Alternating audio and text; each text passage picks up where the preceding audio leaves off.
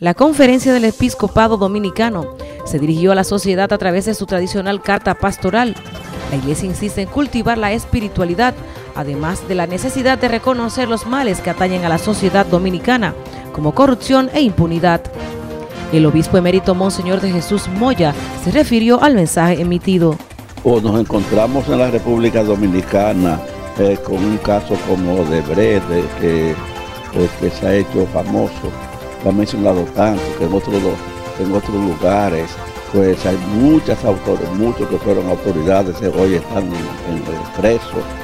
Y nosotros aquí en la República Dominicana, eh, hablando mucho, como si nada hubiera pasado. Lo que la gente llama la impunidad y, y corrupción al mismo tiempo. Entonces, pues relacionándolo con la Eucaristía, que es Jesús que se hace el pan que se deja comer por nosotros, amándonos. En lo referente a la situación política del país, manifestó. Queremos que todo el mundo ejerza el, derecho al voto. Es decir, que usted vote eh, por el, mm, candidato o candidata que le parece el mejor, la, mejor. Eh, porque eh, de, si usted ve que un partido puede resolver los problemas de la República, después, mire, porque ese partido resuelva los problemas que tiene la República. toda persona comprometida vote por el mejor candidato, la mejor candidata, eh, pero naturalmente eh, el político y la política como ciencia es eh, como la profesión diríamos la mejor manera de hacer el bien común. Pero nosotros estamos ejerciendo la política a ver si me dan empleo a mí. A ver si yo me hago más rico en la política. Y, y esa, esa revés como si yo fuera, por ejemplo, sacerdote.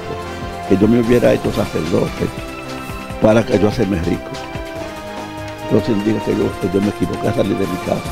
Yo debí coger otro, otro camino de su lado, el dirigente comunitario manifestó acuerdo en lo expresado por Jesús Moya, pues afirma es la realidad palpable de la República Dominicana. Naturalmente que la Iglesia Católica con esa declaración se sintoniza con lo que es el sentir de la sociedad dominicana.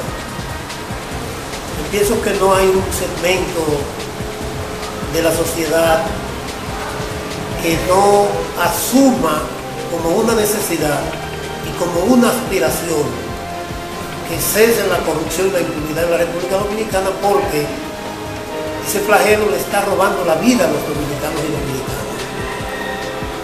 Sin lugar a duda, este gobierno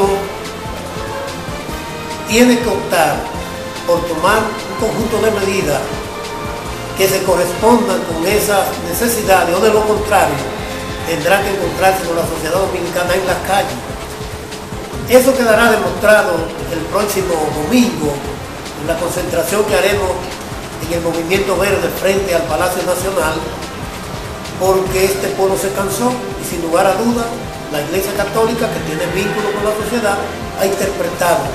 NTN, Joanny Paulino.